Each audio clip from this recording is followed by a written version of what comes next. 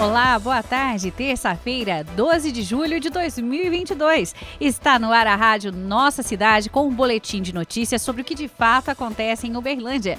Eu sou Daniela Aires e a gente começa com os destaques desta edição. Rádio Nossa Cidade. Atletas entregam bola do Campeonato Rural ao prefeito Odelmo Leão.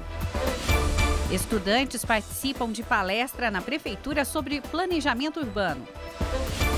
E ainda tem Procon Móvel no bairro Segismundo Pereira nesta semana. Essas e outras notícias a partir de agora na Rádio Nossa Cidade. Vamos juntos.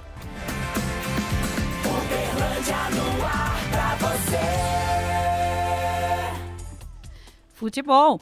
Campeões e vice do Campeonato Rural entregaram bola autografada ao prefeito. Atletas do União Santa Maria e do Tapuirama estiveram reunidos com o prefeito Delmo Leão na tarde de ontem. O encontro marcou o fim do 28º Campeonato Rural que teve a, União eh, Santa Maria como equipe medalha de ouro. Na ocasião, teve a entrega da bola que esteve em campo ao prefeito Odelmo Leão, que foi quem criou e implantou a competição lá em 1987. O Campeonato Rural deste ano aconteceu de março a julho, com a participação de 10 equipes representantes de comunidades rurais de Uberlândia.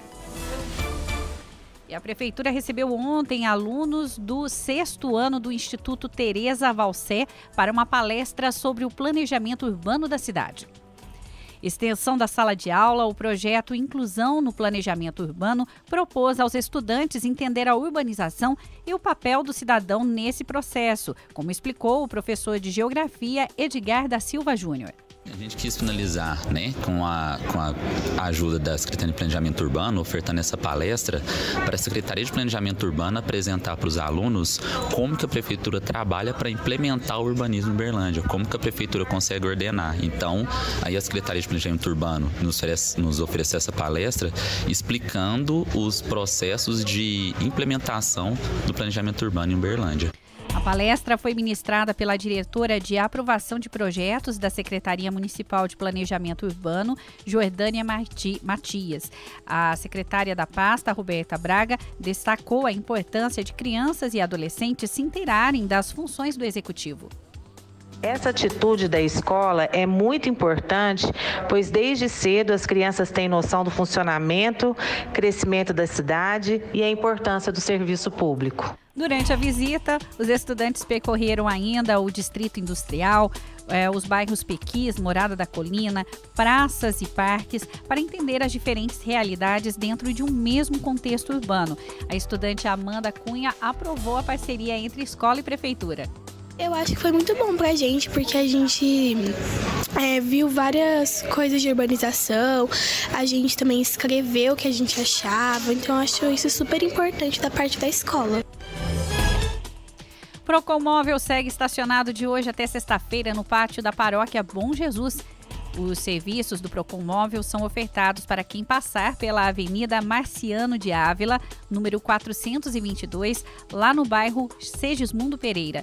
O serviço está disponível sempre de meio-dia às 5 da tarde. A superintendente do Procon, Elizabeth Ribeiro, reforça o recado. O consumidor ele não precisa fazer o seu agendamento, basta levar a documentação para abrir a sua reclamação. Estaremos disponíveis para é, realizar agendamentos de atendimentos, tirar dúvidas e fazer registro de reclamações.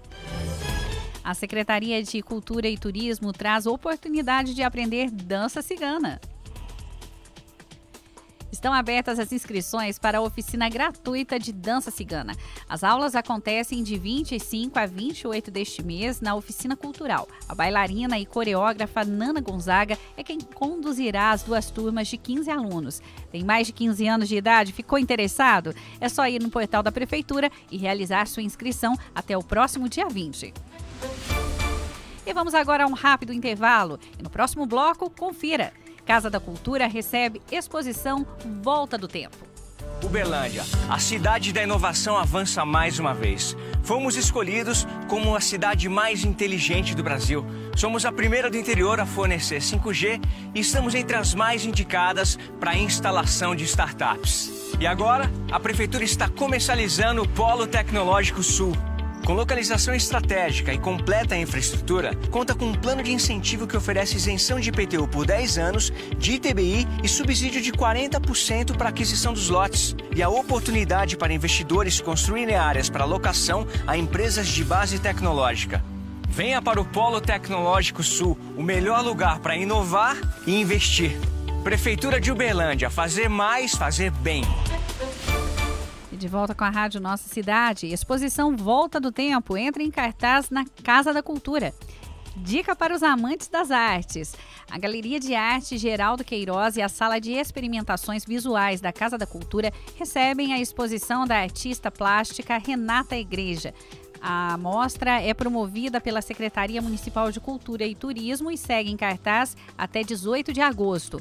As visitas seguem de meio-dia às seis da tarde. O endereço é Praça Coronel Carneiro, 89, bairro Fundinho. As pinturas da paulista Renata Igreja reúnem cores vigorosas e a gestualidade que resultam em uma pintura alegre e cheia de energia. Giro de notícias.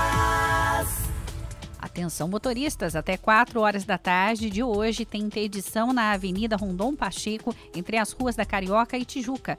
A CETRAN reforça que os condutores devem trafegar com atenção no sentido Praia Clube Prefeitura. O bloqueio da pista se deve à retirada e montagem de formas do guarda-rodas do viaduto da Avenida dos Municípios. Mais oito bairros estão com equipes da Operação Tapa Buracos nesta terça-feira. O trabalho deve percorrer vias dos bairros Jardim Patrícia, Bom Jesus, Jardim Europa, Jaraguá, Santa Mônica, Pacaembu, Jardim Canaã e Jardim Ipanema. Os trabalhos passarão por mais de 12 vias públicas. O cronograma de serviços é elaborado diariamente por técnicos municipais. E para solicitar esse tipo de serviço, ligue para o Serviço de Informação Municipal SIM pelo 3239 2800. Terça-feira é dia de feira no Parque do Sabiá. A Feira Novo Agro acontece hoje, das quatro da tarde às sete da noite. Organizada pela Secretaria Municipal de Agronegócio, Economia e Inovação, junto a pequenos agricultores inscritos no programa Novo Agro, a feira traz variedade de produtos agrícolas, panificação, confeitaria, orgânicos, artesanatos e muito mais. Participe! O funcionamento, eu repito, é das quatro da tarde às sete da noite. De notícias. E ficamos por aqui com mais uma edição. Muito obrigada pela sua audiência. Essa é a Rádio Nossa Cidade. Jornalista responsável pela edição Alex Rocha, responsável técnico Cristiano Silva, secretário municipal de Governo e Comunicação Marco Túlio de Castro Calima, Prefeitura de Uberlândia. Fazer mais, fazer bem. Fica por aqui mais uma edição do programa da Rádio Nossa Cidade. Continue conosco no portal da Prefeitura e nas redes sociais.